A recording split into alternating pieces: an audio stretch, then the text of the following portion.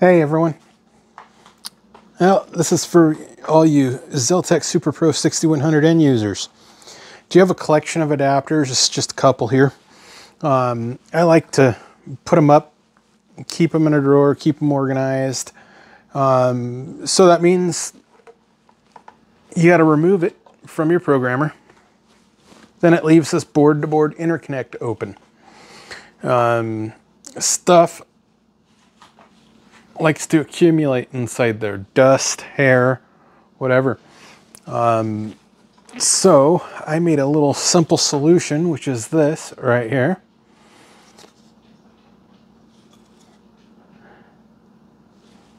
It is a cover for the board-to-board -board interconnect. There it is. Slips right on there. Nice and solid. Comes off easy. Goes back on easy.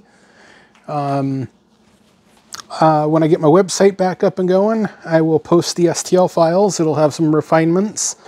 Like this hole, I messed up on the 3D file and it just, it poked through and I will chamfer the corners to make it smooth and round instead of sharp and jagged.